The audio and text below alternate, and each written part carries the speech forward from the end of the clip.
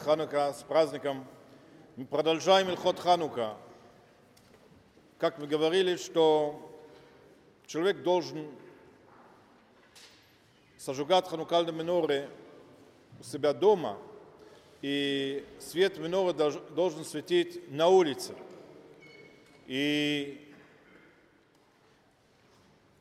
было время, во время, когда евреи жили в Вавилоне, которые запретили сожигать свечей, не только ханукальных свечей. Есть, такие, есть такая религия, которая называется, по-моему, зотарианцы, которые, когда у них праздника, нельзя вообще сожигать свечей, иметь свет не, э, никакой дом, кроме дом их молитвы. И наши мудрецы говорили, что бешата сакана во время, когда это опасность, пусть человек сожигает ханукальные свечей у себя дома на столе своей гостиной и, или своей кухне, значит, ханукальные свечи должны светить у себя дома.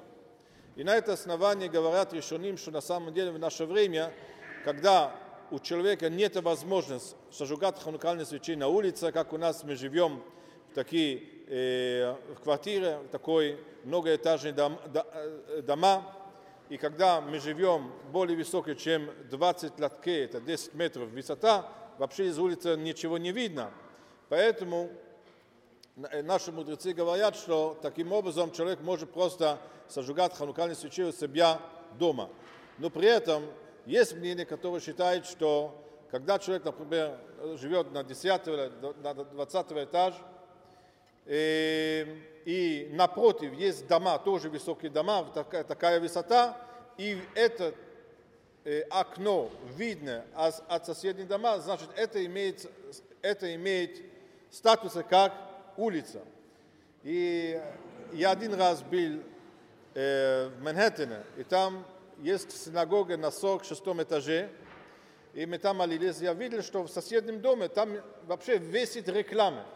На соседнем весит реклама, и реклама именно весит для э, людей, которые живут на, на то же самое этаже в соседние дома.